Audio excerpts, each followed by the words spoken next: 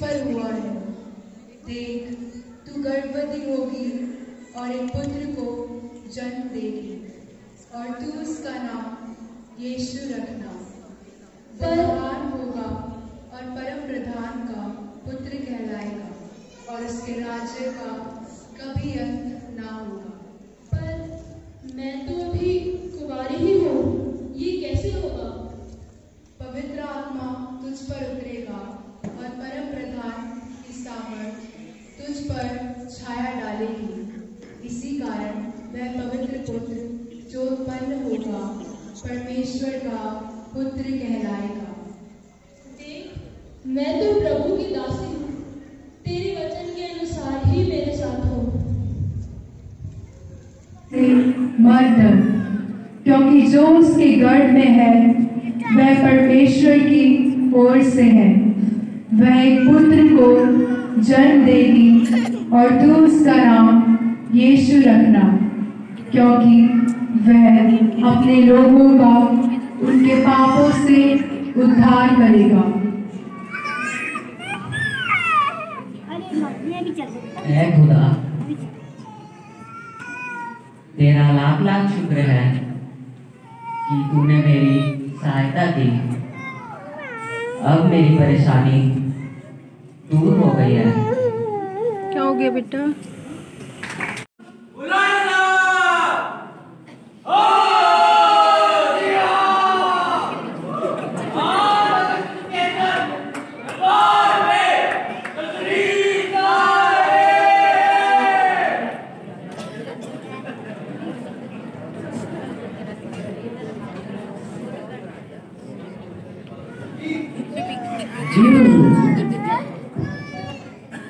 क्या सभी लोग दरबार में हाजिर हैं। जी हुजूर सभी दरबारी और अन्य लोग हाजिर हैं। हमें तो कुछ लोगों की कमी नज़र आ रही है। क्यों? उस्मान कहाँ है? यहूदा कहाँ है? क्या उन्हें हमारे दरबार में आने का अंदेशा नहीं था?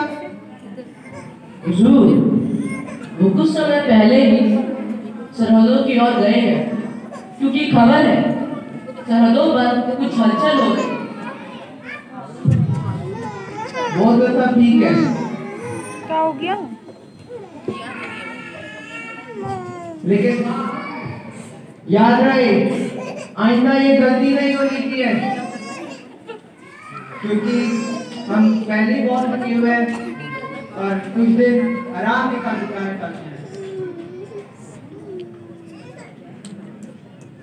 और हाँ हमारा ये फरमान है कि सभी मुल्क के लोग अपना अपना नाम अपने अपने तहसीलों में दर्ज कराए।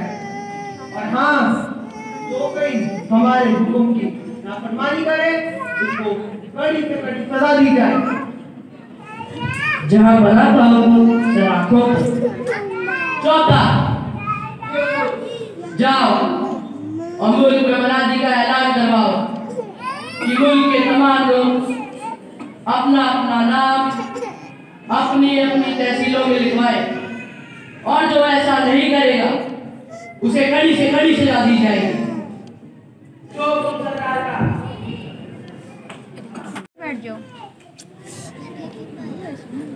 उस्ताद उस्ताद, आपको नहीं लगता आपका दोस्त आपसे भी पुराना हो गया है। अच्छा फालतू की बातों में ध्यान मत लगा। अब मेरे को बताएगा मेरे ढोल कितना पुराना हो चुका है। उस्ताद अगर कोई बाज़ार का काम है तो बता दे क्योंकि मैं बकरियों के लिए कुछ खाने को लेने जा रहा हूँ। हाँ ऐसा करना आते वक्त चावल और शक्कर लेके आना। ठीक है।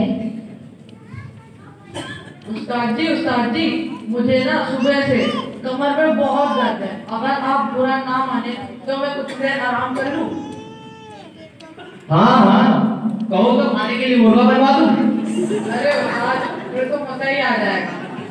जा कुएँ से पानी भर और जानवर उड़ा डाल वरना बहुत फूटेगा।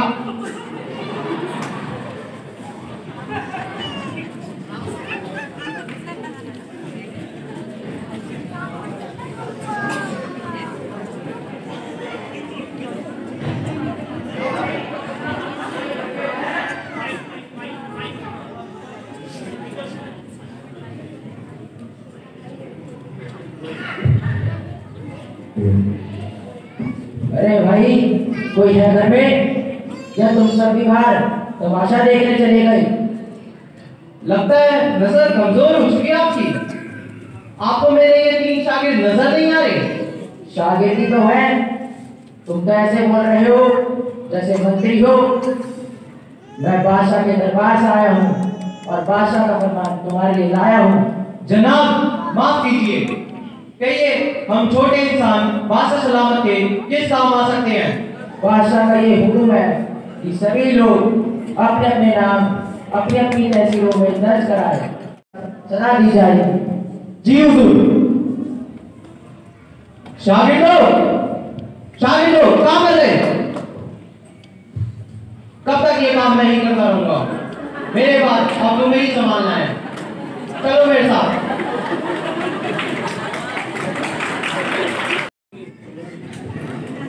सुनिए सुनिए। सुनिए, जनाब आला। क्या कहता है टिल्लू वाला?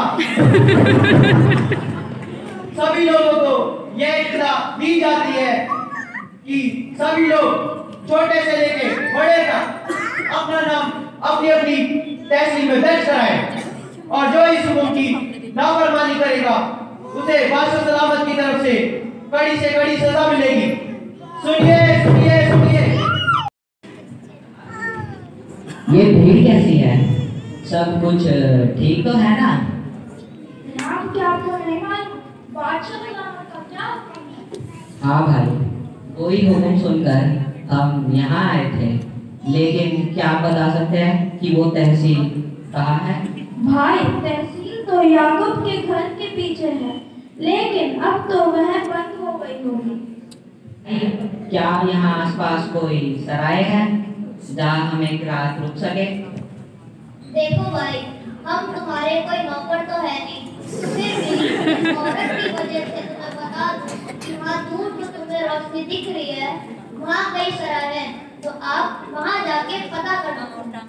जी आपका बहुत बहुत शुक्रिया। यहाँ तहसील में अपना नाम लिखवाने आए थे लेकिन रात होने के कारण और इतनी सर्च भी होने के कारण ऐसा नहीं करता। क्या? अगर आपके सराय में तो थोड़ी सी जगह हो तो आपकी बड़ी मेहरबानी होगी, ताकि हम एक रात रुक सकें।